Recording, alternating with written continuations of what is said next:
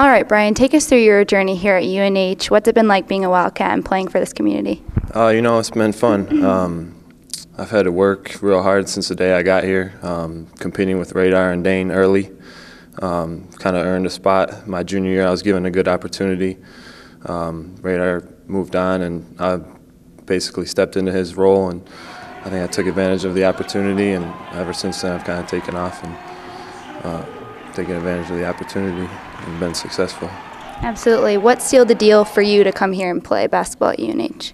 Uh, you know, I came on a visit and had a good time. Really uh, bonded with the players and the coaches, and I thought this was a good spot for me. Um, not too far from home, not too close to home, and so it was a good spot, a good fit for me. Yeah, have a lot of your family and friends from home been able to make it to any games? Uh, yeah, they've come to a lot of home games, and they come to a lot of road games in New York and stuff like that. Albany, Binghamton every year, which has been good. All right, when we talked to Coach Herrion midway through the season, he talked about one thing that you guys need to really improve on defensively was getting off the glass, second shots, rebounds. What have you been working on personally? What have you improved on this year that definitely has helped to the team's success? Yeah, I mean, rebounding is a big key. Uh, in defense, obviously, we've stepped up our defense uh, in the second half of the conference schedule. And I knew that I was going to have a big role on the glass. Last year, I was second in the league in rebounding.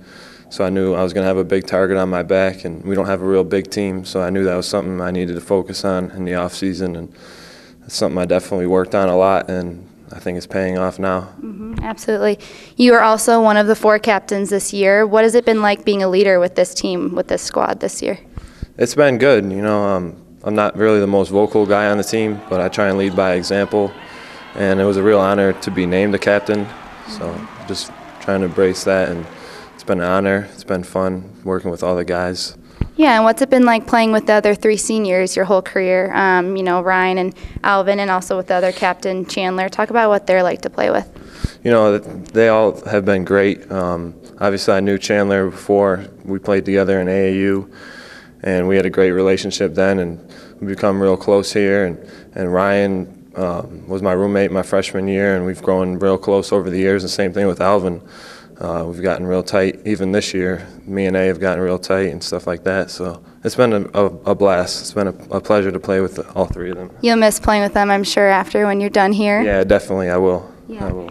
Now we have your last home game in Lundholm coming up. What's it been like playing in Lundholm for you over the past four years? You know, you've gotten pretty good fans here, pretty good support. You filled the gym pretty well. What's it like playing at Lundholm?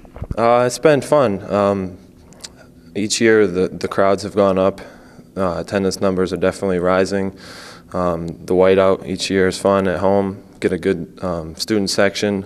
All the TV games are good. Get a good student turnout. So it's been fun. It's not a big gym, but it's big enough. When we get it packed in there, it's pretty loud. It's fun. All right, in May now, once you're done with school, what's the next step for you? Uh, after I graduate in May, I'm going to look for a teaching job uh, down in Virginia, teaching PE somewhere. Both my brothers are down there. And once my parents are able to retire, they'll probably follow me down there. Everyone will be down there. It'll be nice.